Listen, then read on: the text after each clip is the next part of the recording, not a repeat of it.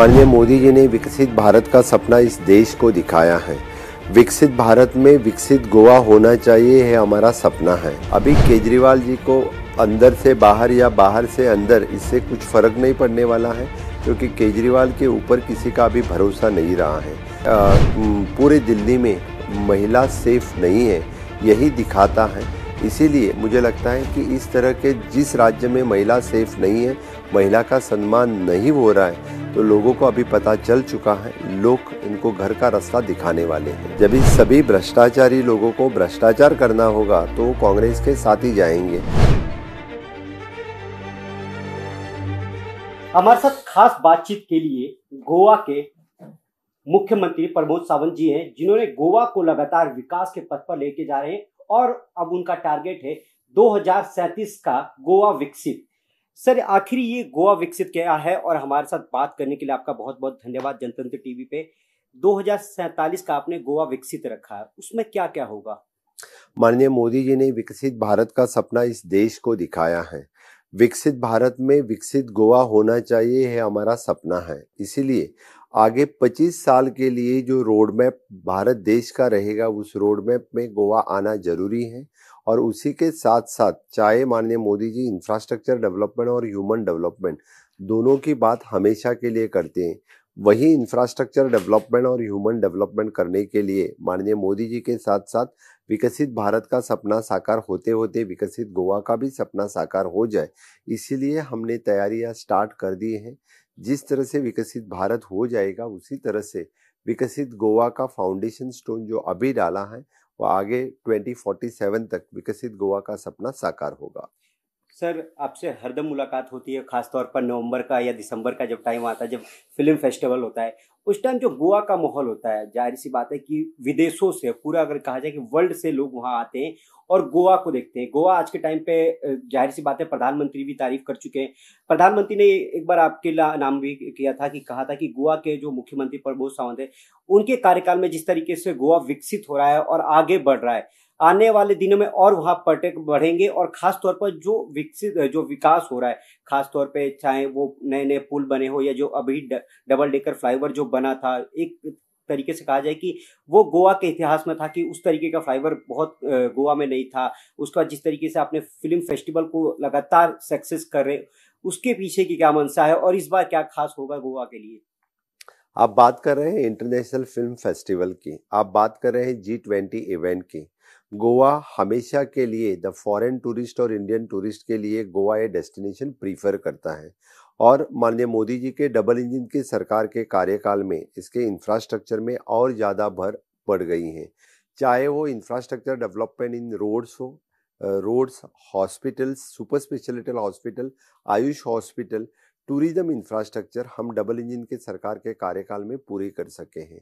इसलिए, इससे आगे इंटरनेशनल और नेशनल इवेंट साकार करने के लिए, चाहे वो कन्वेंशन सेंटर हो, इस तरह के इवेंट ऑर्गेनाइज करने के लिए गोवा अभी इंफ्रास्ट्रक्चर रेडी कर रहा है। मुझे लगता है आगे आने वाले तीन चार साल में इस तरह का जो इंटरनेशनल हम माइस टूरिज़्म की जब बात करते हैं, वो टूरिज़्म होस्ट करने के लिए गोवा तैयार गोवा का इंफ्रास्ट्रक्चर हम तैयार तैयार कर रहे हैं।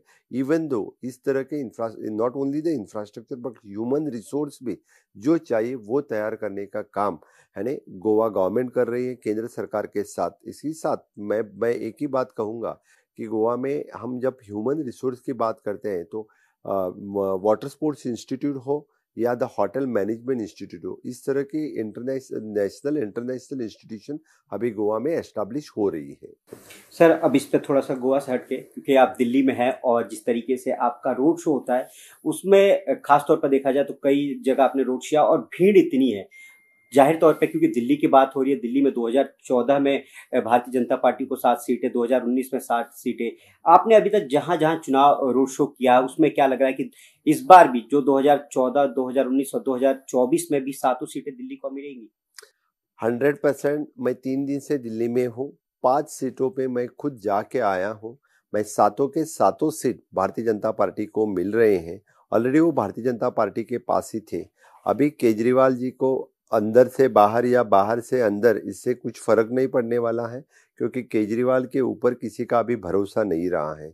दिल्ली वासियों का भी विश्वास है और गारंटी किसी, कोई दे रहा है तो मोदी जी की गारंटी के ऊपर भरोसा है। इसीलिए मुझे लगता है कि फिर एक बार यहाँ सातों के सातों सीट भारतीय जनता पार्टी जीत रही है और द नेक्स्ट यहाँ पे आने वाली सरकार, वो डबल इंजन की सरकार रहेगी, भारतीय जनता पार्टी की सरकार रहेगी, ये मैं दावे के साथ कह सकता हूँ। सर लगातार महिलाओं को लेकर जिस तरीके से प्रधानमंत्री कहते हैं कि महिला सशक्तिकरण की बात की जाती है, महिलाओं के लिए नारी शक्ति वंदन बिल लाया गया पर उनके ही राज्यसभा सांसद के साथ तो सीएम आवास पर आज के इतिहास में अगर कहा जाए तो पहली बार हुआ है कि सीएम आवास के अंदर एक महिला के साथ इस तरीके से मारपीट की गई है, जो साफ़ आरोप लगा रही हैं।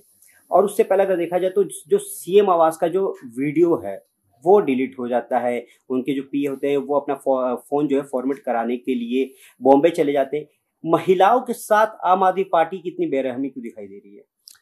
माननीय प्रधानमंत्री नरेंद्र मोदी जी ने हमेशा के लिए नारी का सम्मान किया है। हर एक आप योजना देखो, हर एक स्कीम देखो, चाहे वो तीन तलाक हो थर्टी थ्री परसेंट रिजर्वेशन हो, नारी का सम्मान करने का काम भारतीय जनता पार्टी और मोदी जी ने किया है। आम आदमी के चीफ और चीफ मिनिस्टर अरविंद केजरीवाल, कभी यानी उनके खुद राज्यसभा सांसद को जिस तरह से मारपीट उनके बंगले पे हो रही है, उनके पूरे दिल्ली में महिला सेफ़ नहीं है, यही दिखाता है।